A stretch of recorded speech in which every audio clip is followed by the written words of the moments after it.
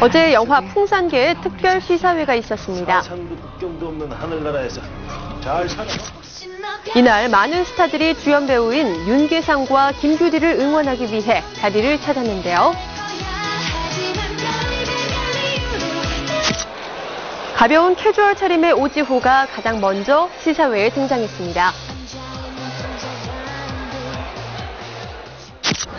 워낙 이제 윤계상 씨랑 김규리 씨 팬이고요. 어, 이번에 좋은 영화 나왔다고 해서 이렇게 왔는데 아무튼 대박 기원하겠습니다. 아이, 고맙습니다.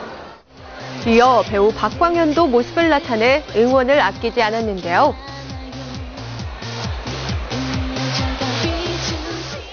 저는 그 규리 씨하고 뭐 10여 년 전부터 친분이 있어가지고 뭐 영화 개봉한다는 소식 듣고 기쁘게 달려왔습니다. 네. 승사계 화이팅!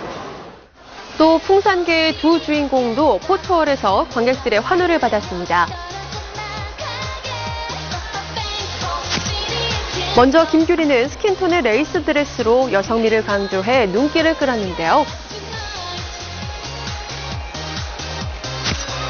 또 다른 주연 배우인 윤계상은 모노톤의 의상으로 감각 있는 스타일을 선보였습니다.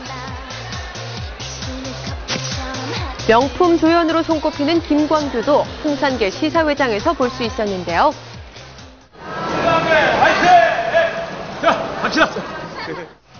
소유진도 시사회를 찾아 김규리에게 응원 메시지를 전했습니다.